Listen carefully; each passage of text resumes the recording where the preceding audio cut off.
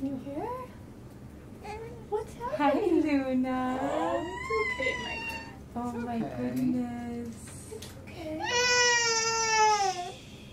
So I know it doesn't feel it, but sometimes crying is like one of the best reactions we can get when we're activating an implant because we know she's detecting something Right. different, right? Yeah. Oh It's okay. dear.